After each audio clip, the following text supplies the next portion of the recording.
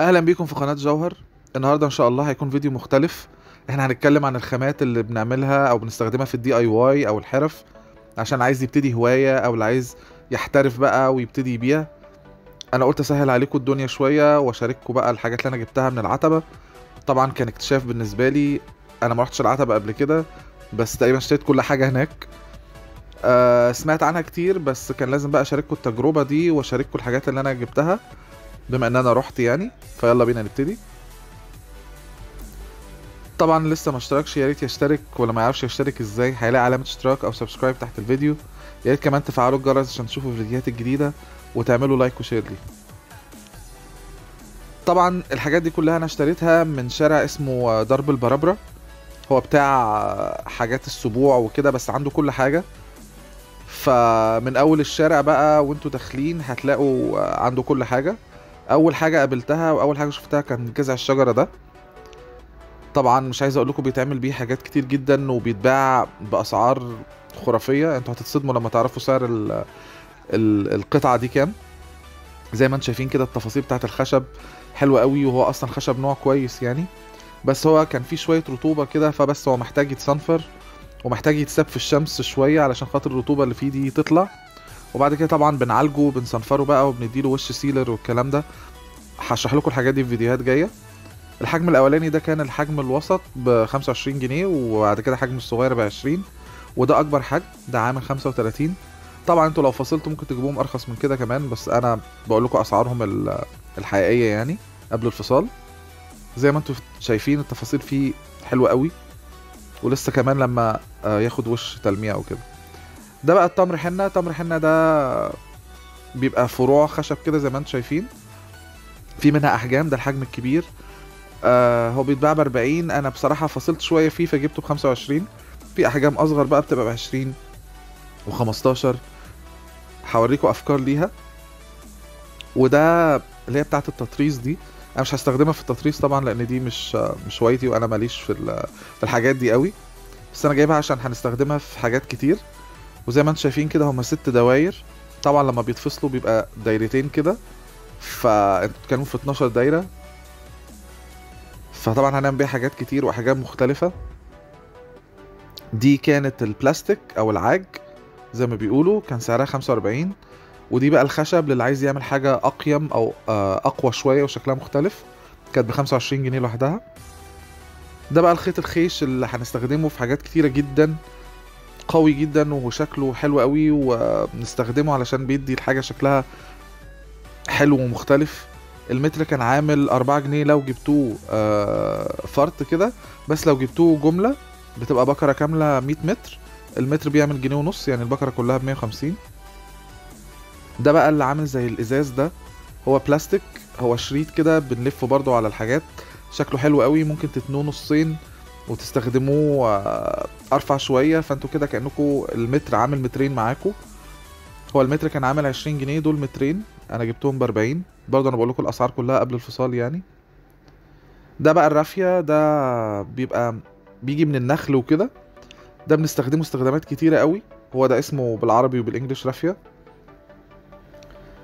نلفه بقى ممكن على الأطواق دي ونعمل منه مراية. بنستخدمه استخدامات كتير. طبعا كل الحاجات دي هستخدمها في فيديوهاتي وهوريها لكم. دي برضو كانت عاملة 20 جنيه اللفة دي. دول بقى ال trinkets أو الحلي دي. دي ده لون برونزي في منها البرونزي وفي منها الفضي. أنا بصراحة عجبتني في منها أشكال كتيرة جدا. وهستخدمها معاكم في فيديو هتشوفوه قريب إن شاء الله. أشكال حلوة قوي تحسوها جاي على هندي شوية كده. ده كان الجرام عامل ربع جنيه. والقواقع طبعا اللي ما بستغناش عنها اللي بستخدمها في ديكورات كتيرة جدا. ده كذا نوع من أنواع القواقع. أنا هفتحها دلوقتي واوري لكم التفاصيل بتاعتها بس قلت أوريكم اللفة قد إيه أصلا. هي اللفة دي في كذا حتة كنت بسأل عليها يقول لي 20 جنيه. بس بصراحة لما لفلفت وكده لقيتها ب 12 ونص جبتها الواحده أنا شايف إن ده سعر كويس قوي بالنسبة لها بصراحة. وأدي الألوان والأشكال المختلفة زي ما أنتم شايفين حلوة قوي طبعا أنتوا لازم تلفوا ما ينفعش ان أنتوا من أول محل كده تشتروا.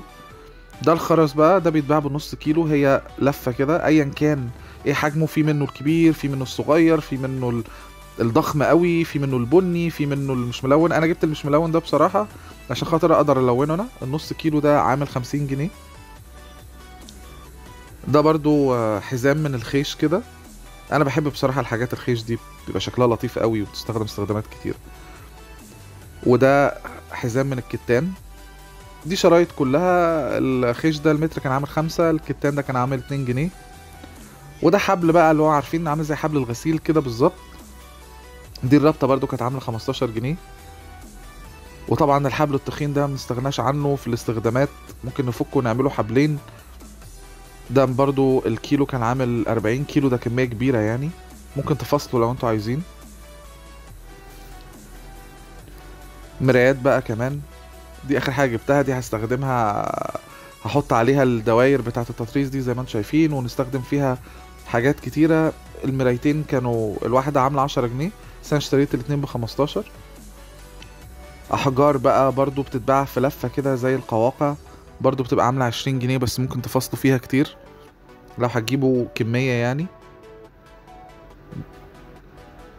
الكاس ده برضو ده مش مواد خام ولا حاجة بس هو سعره كان رخيص قوي فأنا حبيت إن أنا أجيبه. برضو ممكن نستخدمه ديكور نحط فيه قواقع نحط فيه صخور وكده. ده كان عامل 15 جنيه. طبعا لما كل ما تشتروا كميات أكتر كل ما بيدوكوا أسعار أحسن. وده خيط الخيش بقى الخام نفسه اللي هم بيعملوا من منه الحزام والحبل اللي أنتوا شفتوه ده. دي بكرة كاملة كده مش عارف هي كام متر بصراحة بس هي كانت عاملة 15 جنيه. دول بقى ال- الاكتشاف يعني. دول اللي هم ال- الحصر أو البليس ماتس بتاعت ال- الأطباق والأكل وكده. أشكال بقى كل الأشكال. طبعا هستخدمها في كذا حاجة وأنا كنت برضو استخدمت في صواني قبل كده هسيب لكم الروابط بتاعتها. الحاجات دي الحصر دي. بس لقيت كل الأشكال بقى. مش هتصدقوا إن الواحدة بتسعة جنيه دي في ايكيا أصلا بتتباع ب 60 و 70 جنيه الواحدة. فده كان برضو بالنسبة لي اكتشاف. كل الألوان بقى عايزين تغيروا لونها عايزين القوي عايزين اللي بيبقى طري شوية اللي لونه غامق. مش عايز أقول لكم إن أنتوا لو نزلتوا هناك هتتبسطوا جدا وهتخلصوا كل فلوسكم. زي ما قلت لكم ده كان شارع درب البرابرة في العتبة. أتمنى يكون الفيديو عجبكم استنوني في الفيديو الجاي.